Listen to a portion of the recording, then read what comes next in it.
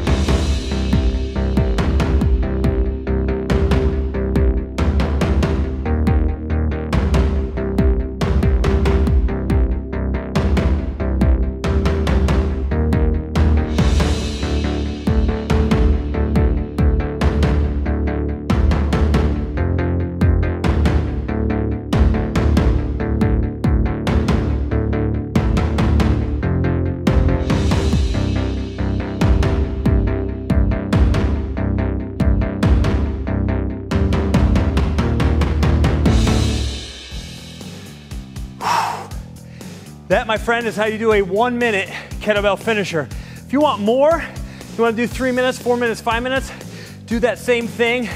Repeat that cycle every minute. You'll have your whole body feeling it. You'll be out of breath, great conditioning. Be sure to give this video a thumbs up. Subscribe to our YouTube channel below. Leave me some comments, some questions you might have, and be sure to check out this free report.